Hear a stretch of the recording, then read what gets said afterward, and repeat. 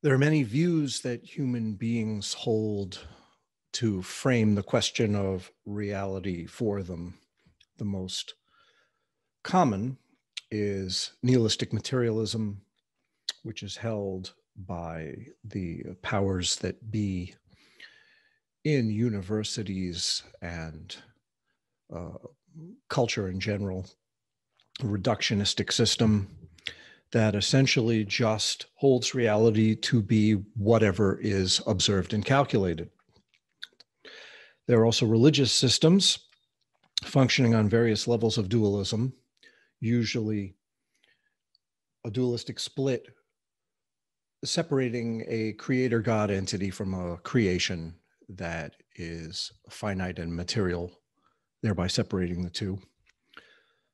Then there are monist systems that hold either a positive or negative, in some cases, view of the absolute, but believe in the absolute as a thing, a great thing that includes all other things. Generally, the dualistic and monistic systems fall under the category of eternalism. So you have nihilistic systems which underscore the materialistic view of most people. Then you have religious systems based in eternalism or an eternalistic belief in an absolute. And then you have what I'm doing, which is none of those things. And since I'm not here to talk about those things, I'm talking about something that is really fairly rare and uncommon because it doesn't subscribe to any of the views that are commonly held. And one of the fundamental uh, premises of this view is the idea of resolving reification and division, which produces duality, but also produces belief in a monad. Going beyond all of those concerns is what we're looking at in key 23. Key 23 brings back some themes that have been mentioned in previous keys.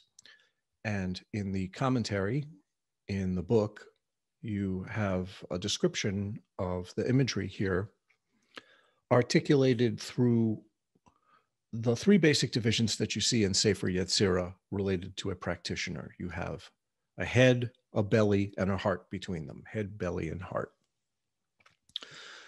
However, from this point on in the discussion, and from this point on in the 32 key cycle, we're going to be concerned with what goes on in the resolution of head, heart, and belly in a very particular way. It has to do with the resolution point in the midst of this equation, in the center, the heart itself, where head and belly coalesce into a view that is utterly and completely beyond the conventional limitations and parameters of what is perceived to be reality by most people. This is the shift itself, the most important part. So, what do we have here in key 23? We have the belly represented as the quadrisected circle with its subset, the subset being relative appearances, the great circle in which it is um, encompassed is basic space itself, the openness of the ground and its inherent dynamic luminosity. In the heart of the belly of this image, which is the circle and its subset, you have a yud with an aleph inside of it. This is a very important symbol. Because first and foremost, what it does, since we studied already what quadrisection is in relation to a circle and what the center point means, the center point is the divine presence in the midst of the quadrisected space that we see as infinite expanse, right? What we see in this particular part of the diagram is that both the subset circle, relative appearances, and the greater circle around it, which is the expanse of basic space, they share the same heart. They share the same heart point. Both can be counted as fives in their own right through their own respective quadrisections, but that fifth point is shared. And here the fifth point is represented as the dynamic luminosity, or we could say the creativity of the yud, which is complete and whole, thereby in the midst of the representation of creative awareness and luminosity, in the midst of the yud graphically, is an aleph, the symbol of wholeness itself, primordial wholeness. So, as we said in previous keys, the reconciliation of primordial wholeness, the aleph, and primordial dynamism, the yud, are keys to the system, are keys to the resolution of reification and division, and thereby dualistic and monistic understandings of reality that are incomplete from the perspective of this view. That's the belly of this key. That is the guts of what we have to work with, so to speak. The head of this construction is our old friend, the Tzach Ot, the face of the divine, openness, its brightness, and its sparkling resonance, which differentiates. The sparkling differentiation, the sparkling resonance never departs from the undifferentiated brightness, although it appears variable, it appears oscillating, it appears in variegation. But appearances and the reality of the situation can be quite different. So the sparkling resonance is the display of this undifferentiated brightness. And the undifferentiated brightness is the luminosity of openness itself. And that's what we started out the entire 32 key cycle with in key one. So we have the Tzachtzachot as the head, uh, which is crystallized into limitations in a human being noticed as the limiting constraints and barriers of the mind and its capacity to perceive reality. And you have the belly, which contains within it dynamic wholeness.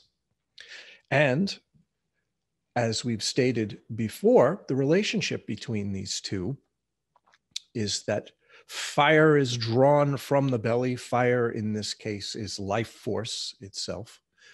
Life force goes through various refinements from intellectual understanding to feeling tone to textural patterning to luminosity itself and ultimately to the openness of the ground. And through these types of fire, the blazing comes up, melts the crystallized mercury salts that conceal the true nature of the head. It regains its original fluidity and drips down. And the flame and the dripping crystalline dew of secret mercury meet in the heart and coalesce into what will be the alchemical stone, the philosopher's stone, which we will talk about at the end of this cycle. That's pretty much the subject that we're going to talk about for the rest of the 32 keys, the fruit of practice. The methodology of practice is the blazing up and dripping down. The fruit of the practice is what happens as a relation uh, uh, in relation to that. So these are things that have been said before, but now in key 23, we're playing for keeps. The stakes are much higher.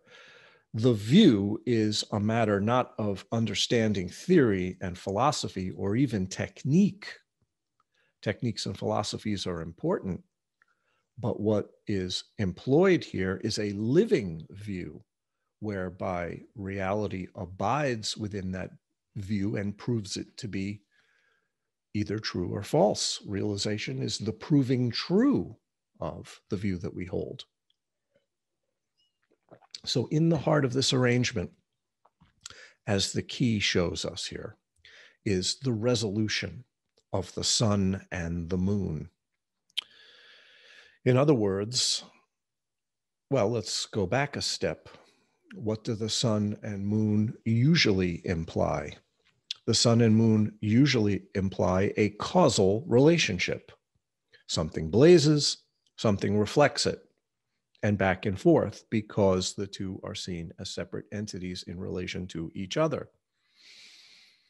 If you look at the diagram to the right of the key, you see our old friend from key number three, I think it was, where I make a very important point about these two bodies in relation to each other, the sun and the moon. The sun and the moon here are both marked with an aleph because they are aspects of wholeness itself and are not separate from each other.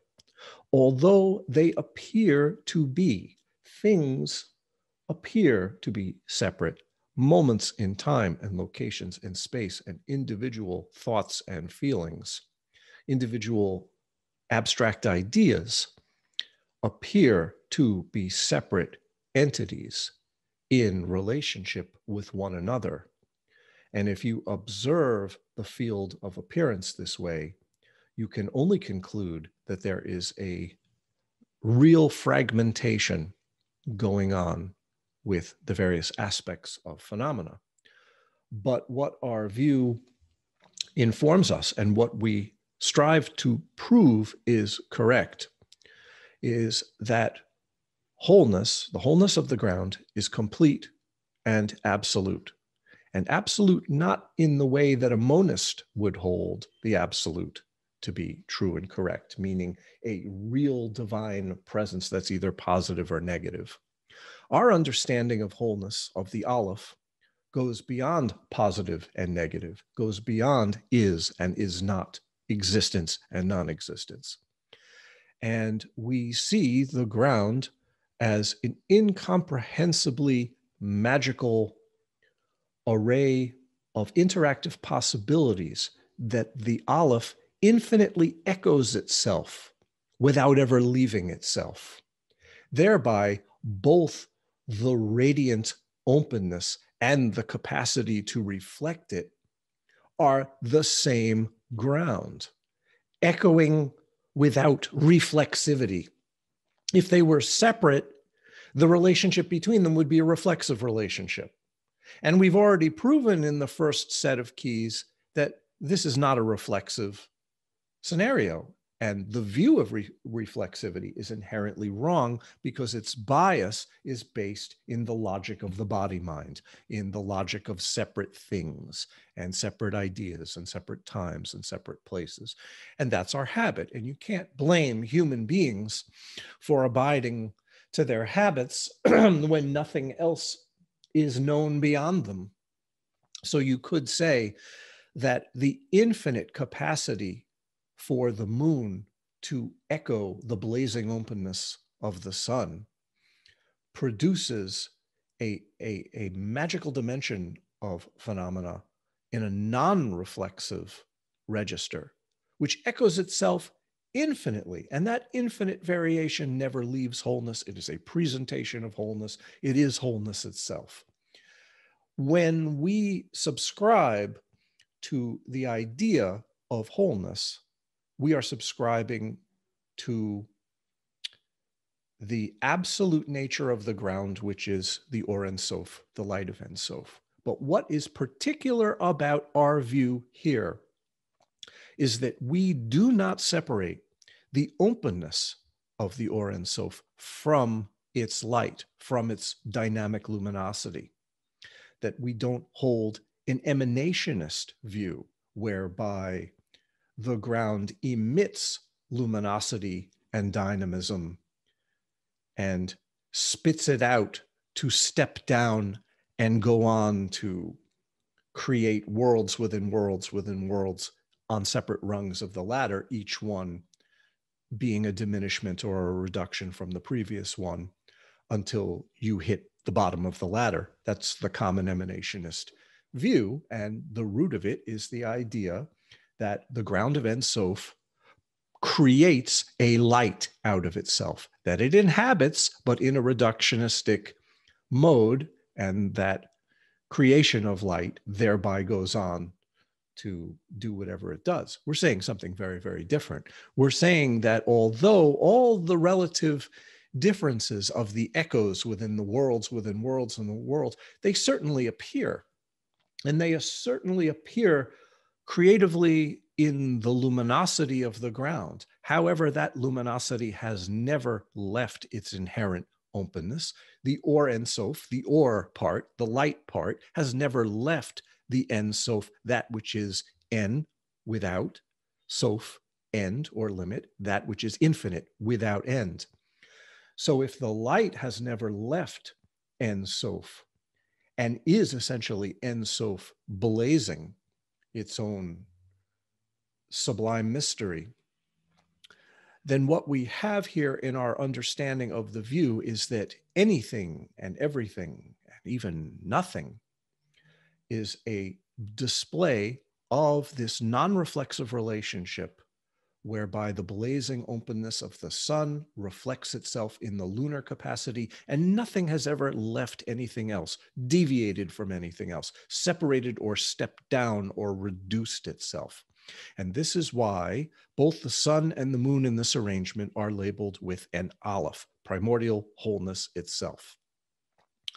There are certain systems that hold to primordial conceptions of wholeness, either as a positive absolute or a negative absolute. But let's take the most extreme esoteric example where there are systems and I'm not going to name them and get into that whole discussion, but there are systems that hold to an inherent nothingness alone and either reject or ignore all appearances and essentially just strive to realize the nothingness state. And in these systems, they are adhering to a very similar view of the essence of the ground, you know, as I'm speaking about. However, they're doing so in an incomplete manner. They're correct, technically, that the ground is a nothingness fullness, as long as you understand that your nothingness is not an absence, right? An is not as opposed to an is, right? As long as you're talking about an undifferentiated wholeness because if undifferentiated wholeness has no reflexive counterpoint right if there is no reflexive um, um, referent for something to be related to something else or set against something else a subject perceiver from a perceived object. What you would have is a nothingness because nothing can be defined. True undifferentiation is a nothingness from the perspective of the mind because you can't define anything about it any quality any attribute any place any substance any time any idea so on and so forth and that is essentially true but all of this still appears. What do you do with that? Well there are those systems that either reject it or ignore it. That's not what i'm doing and that's not what i'm talking about because obviously the echoing of the infinite ground within itself arises as infinite variations of luminous dynamism and creativity, which is essentially life force brought to its ultimate intensity. And when life force is brought to its ultimate intensity, it recognizes itself as pure awareness. But the question is, from the perspective of pure openness. What is this awareness if there is no one to be aware and no thing to be aware of? It would be a nothingness. There's nothing that you could say about it. So, why do we even call it awareness? We call it awareness because the echoing produces the contrivance of infinite realms, and the infinite realms are infinite sets of patterns. And within the infinite sets of patterns, where life force expresses itself, a situation is contrived whereby the infinite seems, appears to be hidden and concealed within the finite. The recovery, or the resurrection, one could say, or the restoration of an understanding of infinite dynamic wholeness in the ground in the midst of the game of hide and seek is the job of a practitioner and the purpose to it all from the perspective of this view. So the seed of this recognition of the infinite within the array of contrived finite disguises, the echoes of the luminosity of the ground as it conceals itself within itself on all possible registers. This is what is realized when causality, the reflexive assumptions about the sun and moon, are resolved in the heart of practice. This is what we're talking about here. When we're talking about the sun and moon in practice, what we are talking about is the interaction between the contrasts that articulate differences. And those contrasts within the life force are known, and I've mentioned that they are known as the aspects of the red and white drops in relation to each other, the chasing between them, which produces the tension and the energy of desire as the red drop seeks to reconcile itself within the white drop, and the white drop seeks to reconcile itself within the red drop. And this is a symbolic way of describing the endless pursuit of resolution that never gets resolved within the worlds that miss the heart point of the ground. The aspect of the sun becomes the red drop, the aspect of the moon becomes the white drop. When the red drop expresses itself in its own way, in its own activity within manifestation, it becomes the blazing fire of sulfur. When the white drop expresses itself in its own way in manifestation, it becomes the fluidity of mercury.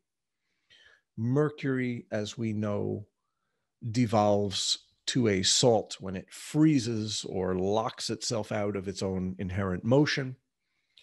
The blaze of the sulfur is that which becomes limited as a result of that and expresses a limited capacity to blaze. In its complete blazing, the red drop is the solar understanding of the Or Ein Sof and uh, the mercury, when it's realized for what it truly is, is the secret mercury, the ultimate fluidity of the open fullness that expresses itself through its luminosity. That's what's resolved in the heart as life force is drawn out of concealment from the belly, melts the crystallized mercury salts, which as you see in key 23, are actually the tzach oath. They are the very highest expression of the divine. And as the dripping down and blazing up meet in the heart, you get the realization of a spark of luminal darkness, a spark of the sublime that abides within the heart and grows there. But here is the problem. If we believe that the ground is complete and whole and absolute, and reality itself is only this open fullness, what is a head? What is a belly? What is a heart? What is a being? What is a world? Obviously, what is being melted away is the belief that separate beings and separate realms at separate times and separate locations and separate ideas actually exist.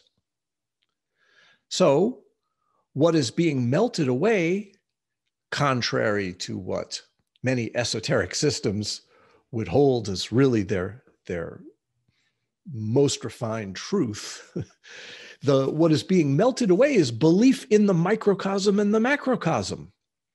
Now, of course, I'm not saying that microcosmic and macrocosmic expressions don't appear. Of course, they appear. We can list endless correspondences that map them out, and they are truly appearing. They truly appear. But what is their ultimate transcendental reality? What is their ultimate essence? Well, in asking that question, when you ask the question of the ultimate essence, of a thing. Remember Marcus Aurelius, what is a thing in and of itself, right?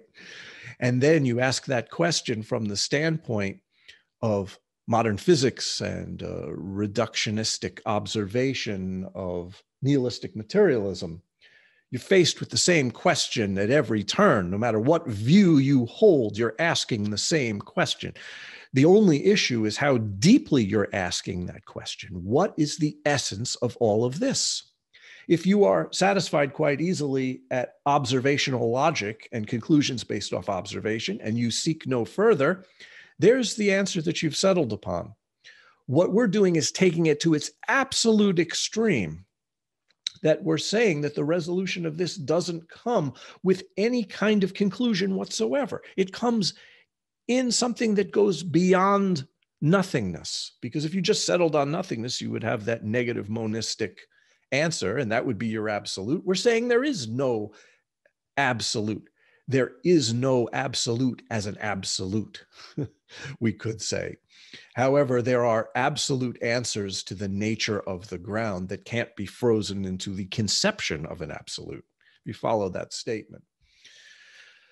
So, what do we do? We know that the blazing up of the sulfur and the flowing or dripping down of the mercury resolves itself in the heart. And what is dripping down is the tzak ot, which is the root of the life force that has blazed up. They are essentially two aspects of the same thing, just as the sun and moon are two aspects of the same thing. But that thing is not a thing, it's inherently open. That's why we started the entire key cycle with openness, because you don't want to freeze the absolute into an absolute condition or source because if the absolute becomes the source of all things, then all you have is a system of causality where the source produces various effects. And you always go back to the source because the source is a, is a foundation point. We're resolving causality when we resolve the sun and the moon in the heart. And we are essentially saying that the open expanse of Ein Sof and the creative brilliance of its awareness light are one and the same. Just as the sun and moon are one and the same, the ground and its luminosity, the openness and its luminosity are the same. And it's recognized as a spark that coalesces in the heart of a being. So when we say the heart of a being, what does that mean? And here's where two convergent methodologies will be discussed. There is certainly a reaction that happens in the psychoetheric, physical and mental body of a practitioner during contemplation, where something does blaze up the central channel and something does drip down from the head. Some systems would say four fingers above the head, other systems would say an arm's length above the head. Doesn't matter head, belly, and heart is a scenario where the blazing up and the dripping down and the coalescence in the heart marks transformation in the appearance of a being. But those same fundamental precepts apply to the overall field beyond location. So we could say that as the field is contemplated deeply, an intensity blazes up from nowhere and crystallizing salts melt seated nowhere, and the dripping down meets the blaze in the heart of the field beyond location. So, head, belly, and heart certainly pertain, in a sense, to what appears to be a microcosm, this display, but also to the display of the field in a macrocosmic sense if we go beyond microcosm and macrocosm, they come back to the same fundamental gesture of contemplation, which is not to say that either one is denied. We could talk about the macrocosmic implications of the frozen salts of worlds that we don't have access to melting and dripping down and thereby producing within the Hishtalshelus the capacity for growth through the worlds. That certainly appears just as we could say that the mercury salts within brain based consciousness melt and the blazing of life force meets them in the heart, which is certainly something that thinking and feeling benefit from, and the changes within the functionality of a being prove this. So we could note these macrocosmic and microcosmic changes, but they're all relative and provisional. The absolute basis of this is in the ground itself. So, how, while we're noticing that this activity is taking place, this being described in Key 23, how do we bring it past our biases for microcosmic and macrocosmic applications? Because the intellect is always seeking to reduce these symbols to those terms. That's a perfectly understandable habit that we're seeking a set of correspondences to make a logical sense out of all of this. And if I tell you that what goes on in the subtle body of a practitioner and what goes on in the field of appearance in a macrocosmic sense are actually the same gesture, not two separate gestures. What I'm essentially saying is exactly what the sun and moon are seeking to resolve here what things seem to be and what they actually are are two different things. And the reflexive division between things is what is actually being resolved. The causality between those relationships are what is being resolved at the root.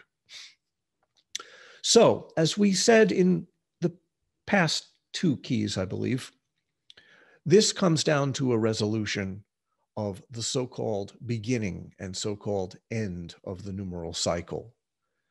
The one, which is absolute wholeness, and the dynamic potency of the 10, which is the sum total of its dynamic power, the yud and the aleph.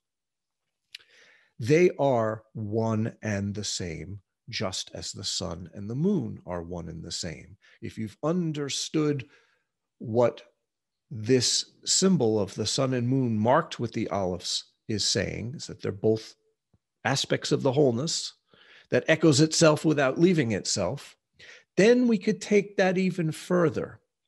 That we could go through a set of intervals that prove certain points about the nature of manifestation that are stated in the Fountain of Wisdom. They're derived from the Fountain of Wisdom. And they will be used extensively to explain the fruit of practice as it is expressed and realized in the remaining keys. And I've listed them to the right here. That we have two different types of considerations where we equalize the aleph and the yud, or the sun and the moon, or the head and the belly that establishes the spark of sublime divinity within the heart. And these two different types of considerations are explained in terms of the path and the realization of the path. The path is the is based on the idea that we still carry with us the bias of the body mind and the fragmentation and the tendency towards reification that comes with that. And we're working through it. On the level of the path, transformation is happening. Alchemical transmutation is changing us. That we find ourselves in various limiting states and we strive to work through them. That's what the path does. The path is, in a sense, working from the side of our actual state, our current state that needs what we call tikkun or restoration or repair. In other words, it's operating within a process that appears linear and dualistic. We are here, we're seeking to go elsewhere with our being. That aim, that great aim, known as the great work, is realized beyond the steps and stages of any linear breakdown of a transformative process. As a matter of fact, that realization is beyond process itself. It is complete and whole like a lightning flash, absolute and intact, always, already from the outset. That you could say, for example, that when the Aleph is known as the sun and moon, Are we reconciling the sun and the moon by realizing that they are the same? No, they were always already the same. It was our own habit that made a mistake that thought that they were different. You could say the same thing about microcosm and macrocosm, about the head and the belly that are resolved in the heart. These differences are a mistake that we are in the process of resolving. So the path leads us to a realization that doesn't have to be fabricated or created. It's always already true and absolute. And absolute in the sense meaning definitive and not provisional, not in the sense of there being an absolute, like a creator God would be absolute. So let's go through these intervals that prove and express the equalization of the Aleph and the Yud. And this is what is resolved in the heart as the sun and moon are realized for what they truly are. From the perspective of the path, we contemplate the original ground, we contemplate the olive. That's our starting point from the perspective of the path. The first thing that you do on the path is learn what wholeness actually means that it is open, that it is openness, and it expresses its luminosity without leaving itself. Key number one. If this is intellectually understood, you have the most important foundation for everything that will follow already intact. It's actually very difficult to understand this completely and fully. When we reduce it to a mere philosophy, we might say, yes, that's a very nice idea that um, the original ground is complete and whole and everything I look at is the ground. But then we have to contend with our actual state, which is two seconds after we have thought about that philosophical precept. We get caught up in something, we desire something, uh, we either like or dislike something. And we're back to a war between the red drop and the white drop, chasing each other around and uh, essentially fighting with each other and our view of the original ground is out the window until we remember it again as a philosophical precept. This is the problem of the intellect. But it's where we have to start on the level of the path. Once we understand intellectually that the original ground is complete and whole, we understand something about the sun and the moon. We understand that in a non reflexive way, the openness blazes and its capacity to seemingly echo itself or reflect itself is infinite. And through that dynamic tension, we have luminosity arising between openness and its natural fullness, which is exuded in, in an infinite array of possibilities. It is actually the question of possibility in an open ended manner. And that is inherently the seed of awareness. So, if we understand the original ground of the Aleph, we could look at the graphic shape of the Aleph and see that there are two yuds that are echoing each other within that wholeness. So, to understand the original ground is to understand the original ground of all echoes and to understand luminosity itself and to understand life force and awareness as being nothing other than that. On the level of the path, if you contemplate the original ground completely and fully, you can move to the next phase of the path, which is the contemplation of the enworlding echo. That that echo where Aleph appears as Aleph Aleph, sun and moon, the echo echoes itself.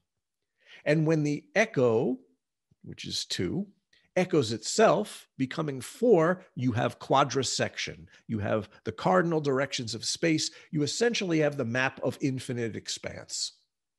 So Aleph becomes, it doesn't become, Aleph is inherently the capacity to echo itself.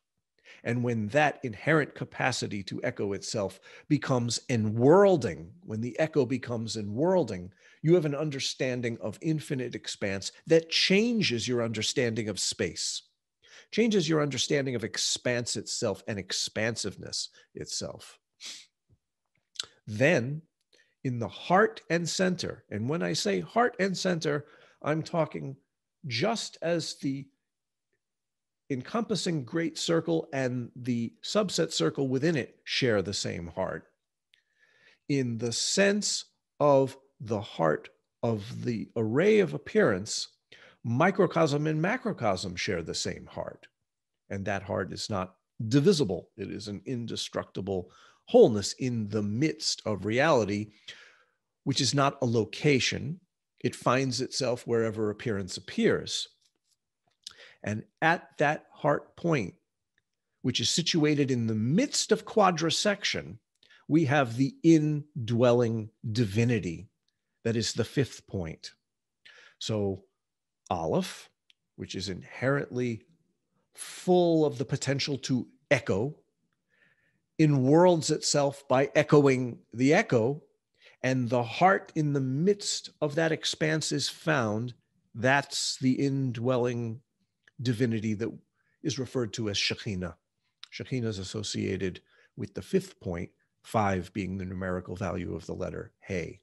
So you see, on the level of path, I'm giving you a series of steps to explain the elaboration of the ground within itself. It's on the level of path because it's steps and stages, right? Once we have some understanding of Shekhinah, the indwelling divinity that is always inherently in the midst of infinite echoing expanse, we realize that that produces the scenario of the infinite concealing itself within the finite. In other words, that scenario, that fivefold scenario of quadrisected expanse and its center echoes itself. And these are the two hays of the divine name that you have a quadrisected circle inside another quadrisected circle, ultimately echoing into infinity. And there's always the expanse of the cardinal directions, and there's always the center, no matter where it's postulated to be in location or assumed to arise in time or thought about in terms of the vector of an idea, which always has an expanse and a heart and center, when it's considered in abstraction. Same thing is true in, in pure abstract conceptuality, that there is indwelling divinity at the heart of the enworlding echo, and that creates a subset of itself. And that subset is how worlds are formed within other worlds and this accounts for the function of how the concentric circle diagrams work in the Ilanot, the Kabbalistic diagrams. So we have Aleph, which is inherently doubling. Aleph is never less than two, as the Fountain of Wisdom says. And that never less than two echo echoes itself, in worlding itself. The center is always there to be found, there to be realized and discovered. And that scenario also echoes itself. The complete whole fivefold array of the Shekhinah echoes itself as the subset, and that's our map. So, in these four steps that I've just mentioned, we have a path description of how to make the map of reality that explains this view, which essentially is the quadrisected circle and subset with a common heart binding the greater and lesser circles together. That's the heart where the work is actually done. At that heart, we have the two quadrisected expanses with their heart point counted together, five and five, making 10. That's the yud. That's the spark of the dynamic creativity, which was inherent in the aleph from the outset. That's the dynamic potency that does all of this. When the original ground and the primordial spark at the heart of the original ground are reconciled, you have complete wholeness understood dynamically. On the level of the path, this is proven through this circuit of letters and intervals that I've just laid out. But there is no progression. It's always complete and whole. The Aleph and the Yud are inherently one and the same. Although On the level of path, we prove to ourselves that this is the case by going through a progression. But the progression is an illusion from the standpoint of the body mind bias. The realization is that the openness of the Aleph and the luminosity of the Yud are always inherently um, innate within each other, beyond beginning and end. And that's the realization. Now, each of these intervals, and there are five of them here, pertains to one of the facets of what we call pure view. Pure view is the realization of the lightning flash when the ground is realized inherently as infinite variation outside of time, outside of spatial location, outside of even concept. We have five terms that I've mentioned to you before that snap into focus the virtues of infinite variation because we don't have an implicit belief in a nothingness that causes us to reject or ignore appearance. Appearance is the means whereby this is proven. We prove this by contemplating phenomena as it is without wanting to change it. Its inherent perfection, its inherent sublime divinity is on display. The habit field becomes realized as a wonder field if the view is drawn out and realized to its ultimate conclusion. And that becomes what we call the five purities. That's the realization that the path takes us to. So each of these intervals pertains to a different aspect of these purities. Aleph, the contemplation of the original ground. When it is truly realized, what appears to be substantial is realized to be substanceless. Substancelessness is what we call chazchazit, the true nature of the image that arises in the mirror. It has no substance, even though it appears to have substance. It is complete and whole, even though it appears to be broken into an infinite series of bits. That's the chazchazit, substanceless solidity. If you understand and can contemplate the original ground, the world around you is nothing other than the ground. That's the chazchazit. That's the true message of the Aleph. If the enworlding echo of quadrisection is truly understood and realized for what it actually is, dimensionality and the cohesion of separate dimensions is purified and mitigated. And the throne of light, the Kalipa Noga, which appears to be a barrier and set of conceptual membranes involved in reification and division and the habits of the mind, is purified and is nothing other than the ground permeating itself with its own luminosity. It becomes literally the seat of the divine, the throne of the divine light that the enworlding echo, which is the expanse, has a whole different understanding.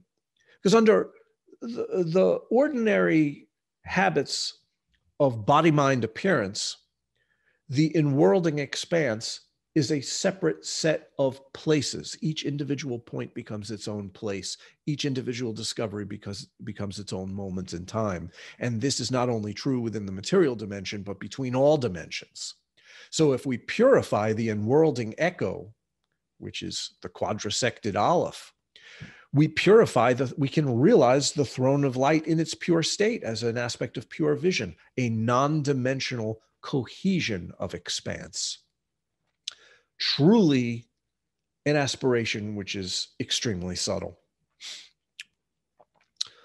On the level of the path that contemplates the divinity that dwells within that expanse, we realize that that divinity cannot be reduced to any process or activity that is either done to us from outside or done from us from the inside. In other words, the process of creation, the process of something having created us or we creating ourselves.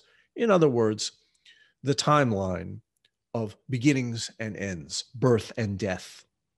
When we realize the truly transcendental nature of this indwelling divinity, we realize the arafal, that which can't be reduced to any point within a process of transformation, or even to transformation itself as it's commonly understood.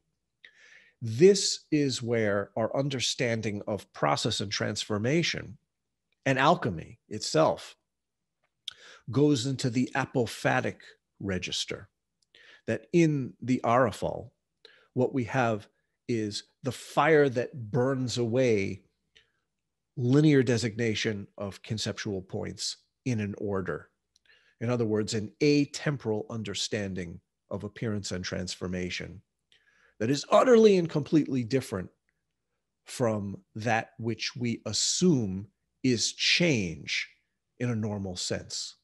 This is the true realization that change is the divine unchanging presence. And what appears to change is merely provisional and relative, even though it appears, and its true nature is actually changeless and not relative or provisional at all, but definitive and absolute in the sense of the ground. When this is applied to the subset of our own scenario, this presentation of appearance that seems to be the world that contains us within it, the assumed subset of an expanse which is unseen. When an atemporal, non dimensional, substanceless understanding of reality is presented, it is completely and totally beyond concept, beyond our capacity to conceptualize it. The virtues of this realization at this point are realized in a non conceptual register. And this is the root of motion, non conceptual motility. That if we understand the previous step, atemporal transformation in the Arafal, what is burned away is the idea that we can grasp at any point within a timeline with any transformative process that denotes change. The Chashmal is the pure dynamic assertion beyond concept, beyond reduction of the root of what appears to change. The key to that is the realization that it's changeless if you try to degenerate that into a philosophy, that there is a changeless root at the heart of all change, it's a nice idea. But that ain't the Hashmal. The Hashmal comes about through the realization of your actual state. And your actual state appears to be moving, appears to be dynamically changing. What are you going to do with that with your philosophy? Ultimately, you have to come back to what you seem to be when that realization pervades every aspect of your life force and echoes forth as the appearance of everything you know and assume to be real, there is this Hashmal transmission of pure wisdom, non conceptual wisdom, that burns away and washes and purifies all the vestiges of the body mind bias, and phenomena is reborn, understood anew literally a rebirth of everything. This is what is known as tikkun olam, the repair of the world, the total repair of reality, which is not a philosophy or even a technique. What it is, is a realization that is discovered as the work is done, blazing up from life force and dripping down as limitations are melted away layer upon layer upon layer as the path progresses. And what is realized from the path is realized in the heart. At the spark of luminal darkness, which is the inherent divinity that is always already there. This is on the level of Keter, the marvelous light, the pervading openness, fullness. That is the spark of the Yud that can be discovered already blazing in the heart of not only what perceives itself to be the microcosm but the macrocosmic assumption of a universe in which it is placed. Hopefully, from the perspective of path and the realization of that path, these intervals which describe the cultivation of the philosopher's stone, the cultivation of realization and gnosis.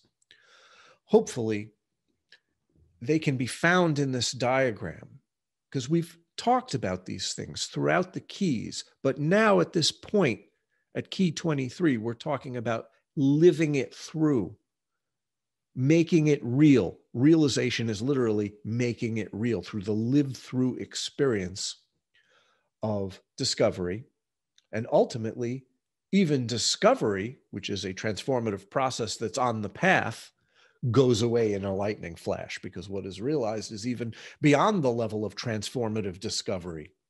The realization is beyond even alchemy because what is being transformed into what else, right? Everything that you need is already inherently the case. But then there's the question of our actual state. Wholeness echoes itself without ever leaving itself. And that dynamic tension, that luminosity must be worked through resistance by resistance. So we're on the path, but incrementally we cultivate realization one spark at a time.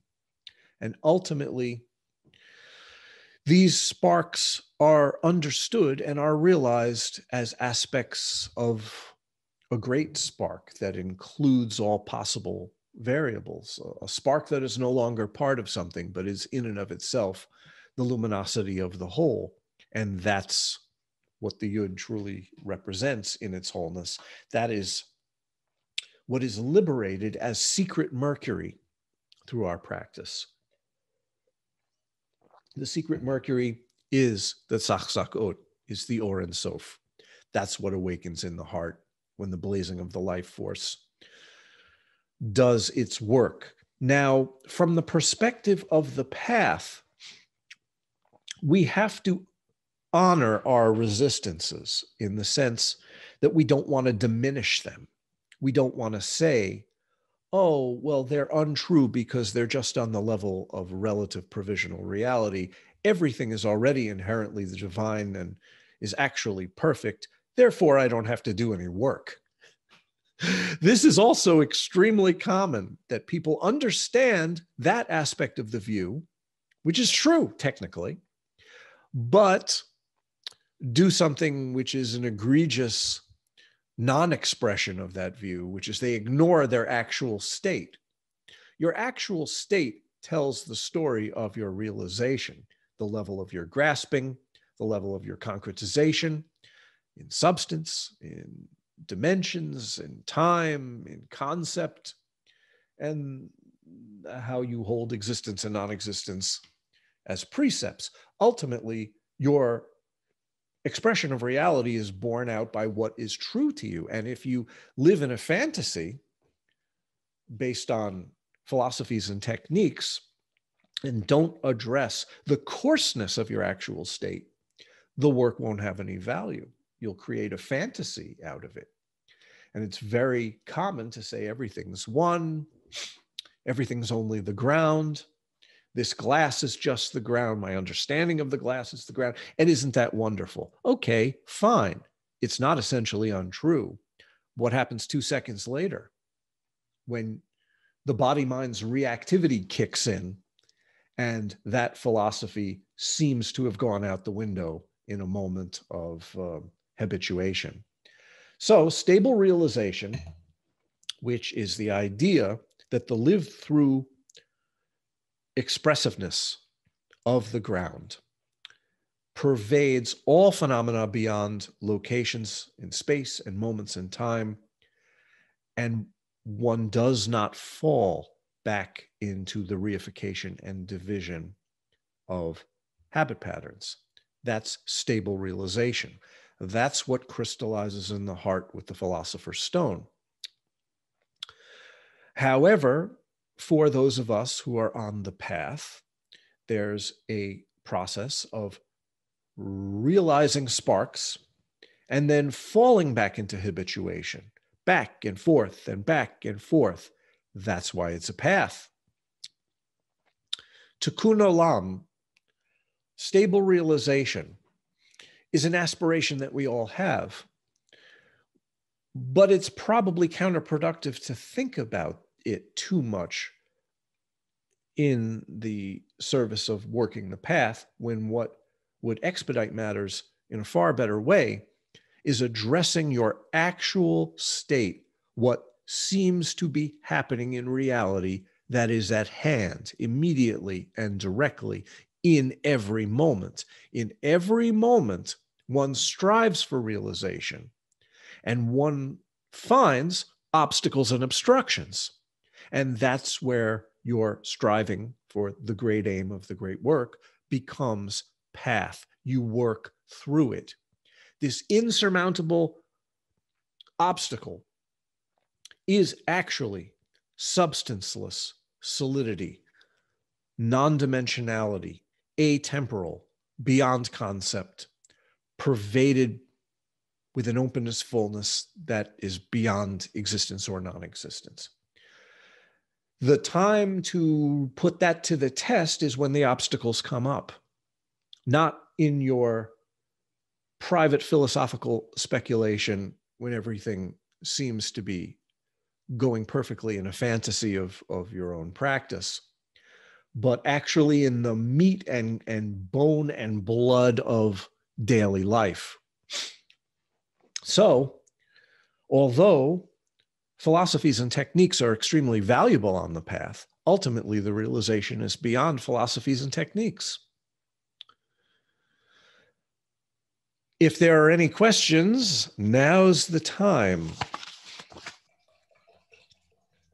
I I accept that my noticing of what I'm about to say is contrary to uh, the essence of what you were sharing today and you've been sharing uh, since we've been meeting. But realization or what I noticed was a sense of being breathed as opposed to breathing.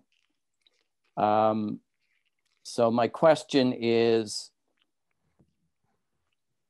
seeing through the eyes or the heart of the whole field, not just uh, the subset that is my habit field.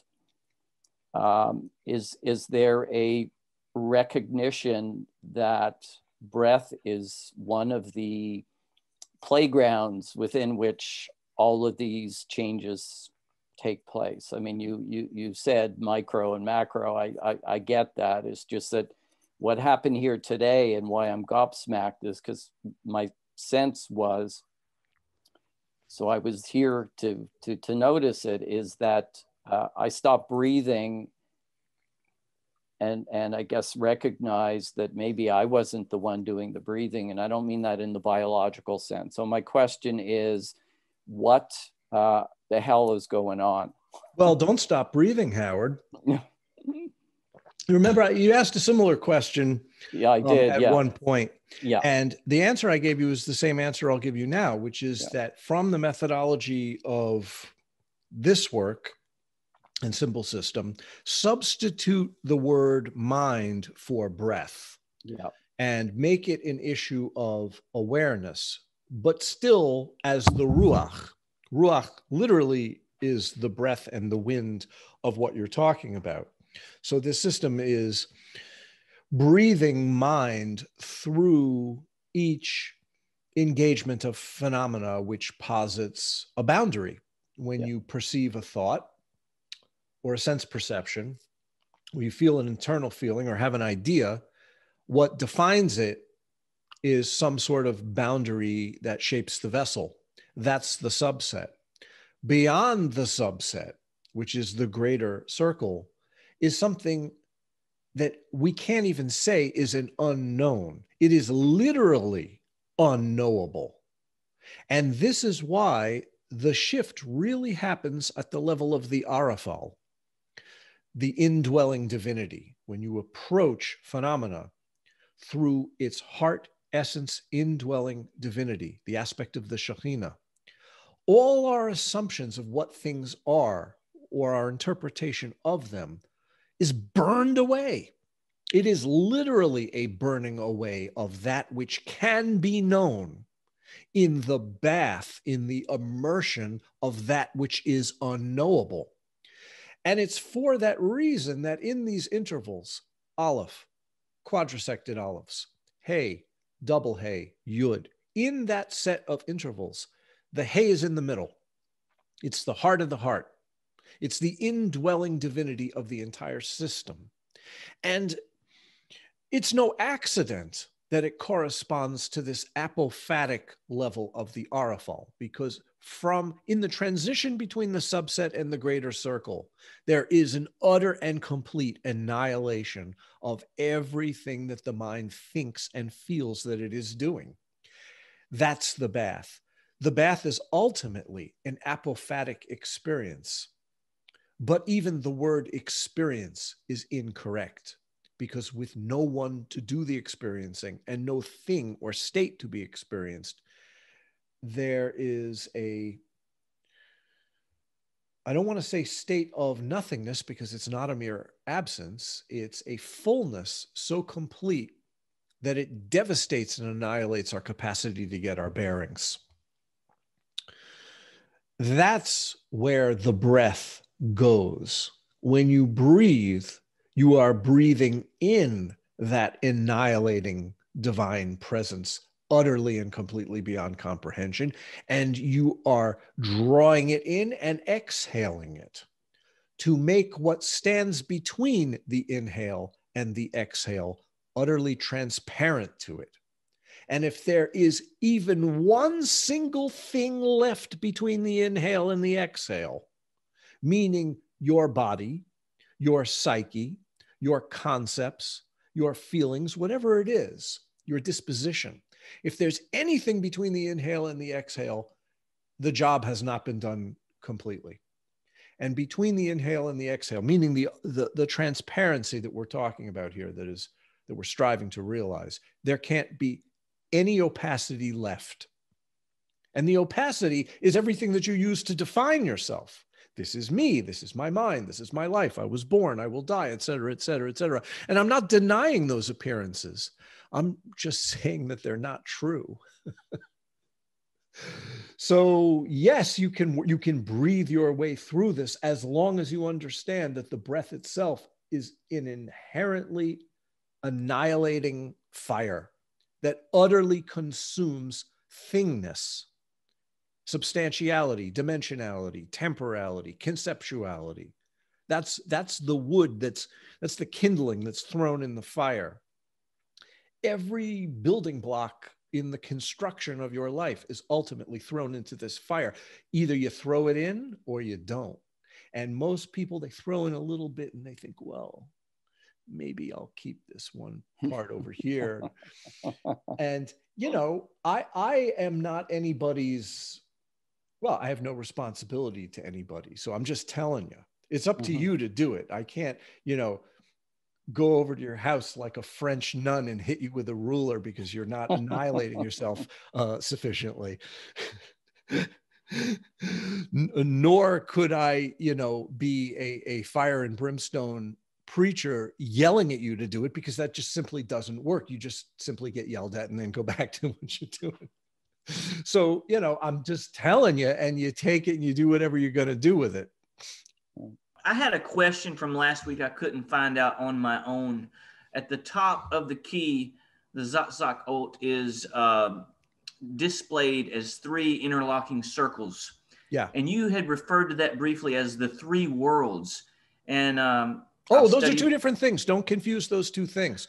Like what Great. we yeah, what we see here with openness, brightness, and the sparkling resonance, that's the Sak Ot. Essentially, that's modeled after the Sefirot of Keter, Chokmah, and Bina in Correct. a way. That's why yeah. I, I represent it that way graphically, because people will have that association. Although it's not limited to Keter, Chokmah, and Bina, it's modeled that way so we could approach it in a common symbolic way that everyone can understand and relate to.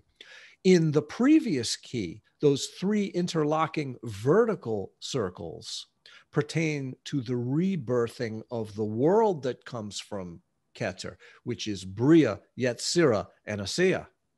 So those were the that, three worlds you were referring to. Yeah, when I when I refer okay. to the triple worlds, I'm talking about the scenario whereby most people associate reality in space time with energies and appearances.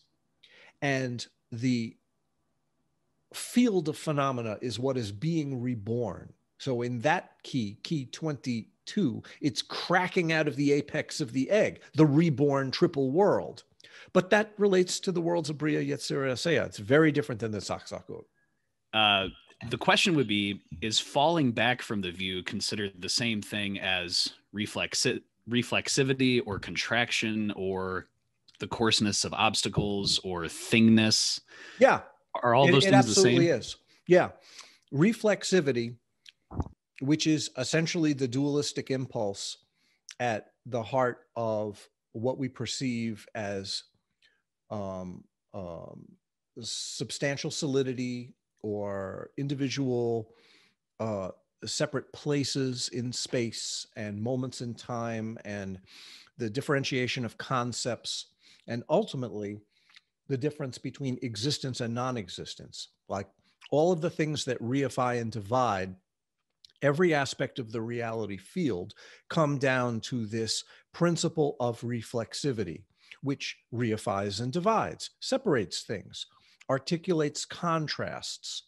So if you take reflexivity as the seed of that which produces falling back into habit patterns because it reifies and divides them, then we have to resolve that. Yes, that is the reason why the falling back happens, and it's resolved at the root.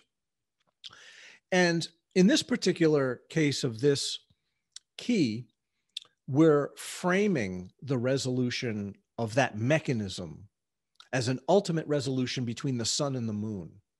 It doesn't stop the sun and the moon from appearing differently as parts of appearance.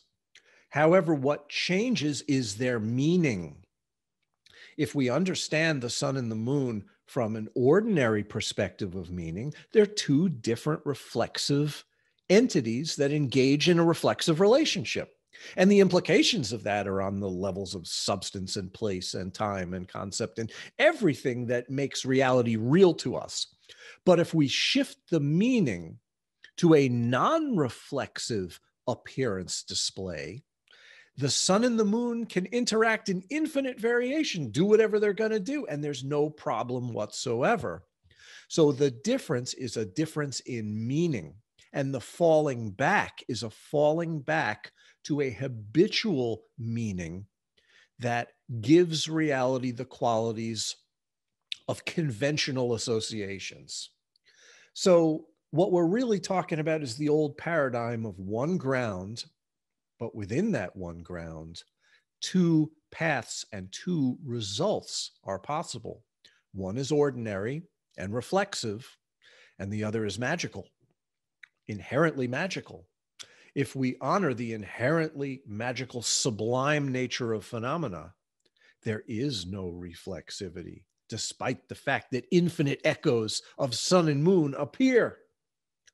That's a very different meaning for what reality is than the ordinary one, because the ordinary one, the ordinary reflexive meaning to reality, only goes to one place and it ain't good.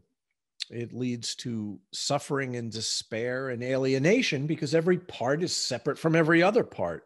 How could you blame a human being or any kind of being for ending up in despair when you live in a world of separate, unrelated pieces? It's just the natural consequence of that. So, falling back is a falling back to misery, falling back to suffering. It's it's hellish when you think of the implications of this. It's not just a, a philosophical tweak of meaning that we're subscribing to this, this nice new idea. We're playing for our lives here. You know, it, it's either phenomena are divine or they're essentially meaningless. It's frightening It is so incredibly frightening to think of the stakes of the game, right? And it's all up to you and it's seated within your own heart. So, falling from that, which we have to do on the path again and again and again, realizing the repercussions of that is why we fall from view and then seek to correct it because we care, because we realize that the repercussions are just too great. The implications of our practice is just um, too profoundly devastating to ignore. So when we fall, and we will, we remember the view, we act in accordance with the view, and we seek the true meaning of phenomena within phenomena. Good question, Mr. Alex. So, anybody else? I, have got one quick one, please. Um, the hay looks to be constructed out of uh, a vav and, and, at least one yud or possibly two yuds which well there's there's two ways to construct a hay a dalet and a vav and a dalet oh, and a yud. They both ultimately are saying the same thing in different ways if you look at the hay the way that I drew it here, I drew it yeah. that way for a reason because the Dalet numerical value four and the Vav numerical value six make 10, the Yud. So inherent in the Shekhinah, the indwelling divinity at the heart of quadrisection, is this heart point of the primordial spark. So you have a 10. Um, by virtue of that, you could look at the Aleph and say that it's two Yuds and a Vav, which is 26, which is the divine name which is essentially the full elaboration of the yud or the 10 as well. So that's a bit of gematria to correct that mistake. When the yud is represented in the type of script, I mean, excuse me, when the hey is represented in the type of script that is comprised of a dalet and a yud instead of a vav, that spells out the divine name Yah, Yud Hey, which is associated with wisdom and chokmah and means essentially the same thing. There are times when one is more useful than the other. So you have these two ways of, of uh, expressing it. But here I just wanted the plain old 10 in the five. And when you see the 10 in the five, you've got the heart of the whole view, if you understand it correctly. In the same way that it is said that somebody with true understanding in a system can know the entire contents of a book merely from observing its title? Good question. If memory serves, I don't have your, your book in front of me. Uh, the heart of the nine chambers, mm-hmm. the nine pure dynamics is the hay. Is the hay. Oh, yes. Okay. So, yeah. The spontaneous yeah. appearance of phenomena as a realized purity beyond space and time and concept and all division. Yes, that's the indwelling divinity at the heart of the array, just like in the nine chambers. Yes. Okay, thank you.